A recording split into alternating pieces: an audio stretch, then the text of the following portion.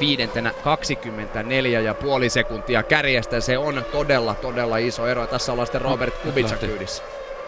Meinas vähän lähteä käsistä, mutta... Ja sillä on nimenomaan mutka numero kahdeksan. Pääseekö Niko kuittaamaan, koska...